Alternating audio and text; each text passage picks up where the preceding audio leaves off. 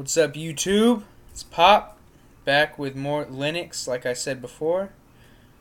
In this video, I'm going to teach y'all how to install Metasploit onto your Linux Mint 13 Cinnamon Maya. So let's get started. First, go to this website here. I'll put a link in the description for you. Now, if you're running uh, Linux 32-bit, obviously you get the 32-bit. If you're running 64-bit, obviously get the 64-bit, since I'm running 64-bit. And if you're using Windows, which you shouldn't be using if you're watching this video, then you use Windows. Thank you, Casey.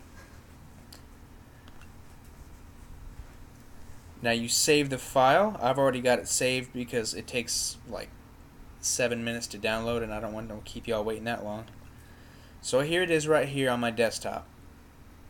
Uh, I'm gonna make it runnable. If you would like, uh, if you want me to go in more details about making uh, files executable, please watch my previous video.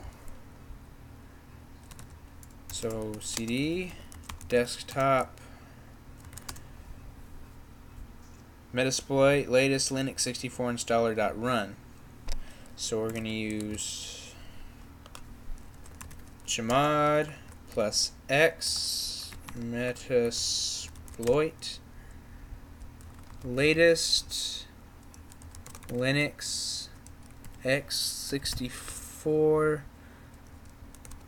installer.run it's runnable.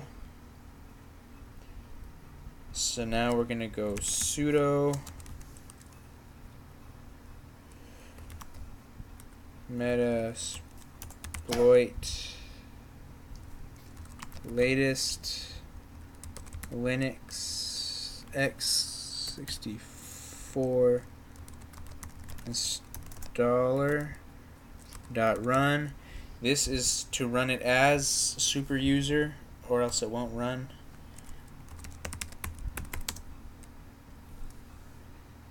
And there it is because uh, you know Linux has some, such awesome security unlike Windows.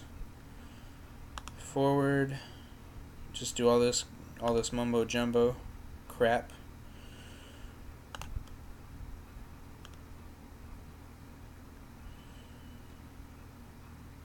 Eh, I like doing that use a port number.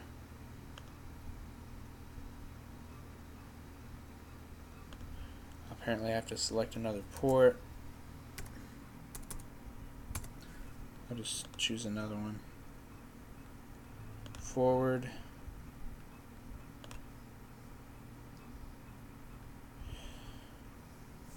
So that's it. How to install Metasploit on Linux Mint Cinnamon. Thanks for watching. Rate, comment, subscribe, all that crap. Please thank Casey for giving his input about Windows. thank you for watching, guys.